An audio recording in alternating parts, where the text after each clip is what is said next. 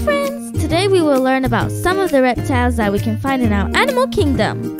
Let's find out! Snakes are characterized by having an elongated and cylindrical body. They have no limbs and they have a very flexible bone skeleton. Snakes and all reptiles are called cold-blooded animals because they do not have the ability to regulate their body temperature by themselves. Snakes are carnivores that feed mainly on rodents, birds, fish, lizards, and other small animals, even other snakes in some species. Crocodiles are animals with a broad flattened head, strong jaws, and sharp teeth. Crocodiles are large semi-aquatic predatory reptiles and have existed for over 200 million years.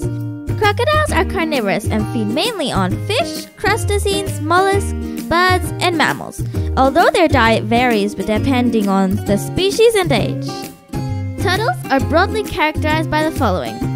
Turtles are reptiles, cold-blooded vertebrates with oviparous reproduction, whose bodies consist on a large shell, a head, a small tail, and four limbs. Turtles are herbivores. Their natural diet consists on leaves, stems, roots, flowers, seeds, and fruits. Chameleons are solitary insectivorous reptiles known for their ability to change color for camouflage or communication, as well as their long sticky tongue for hunting. Chameleons are mostly insectivores, and their main diet consists on insects such as crickets, grasshoppers, mantises, but they can also eat small vertebrates and in some cases fruits or plants. Lizards are vertebrate scaly reptiles, usually four-legged with external ears and movable eyelids that can vary in size and color. Lizards can eat a wide variety of foods, including insects, fruits, vegetables, and small animals.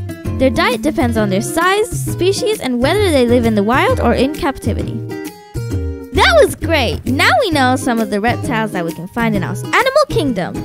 Thanks for watching this video. Don't forget to give us a like and hit the subscribe button. Adios! Goodbye!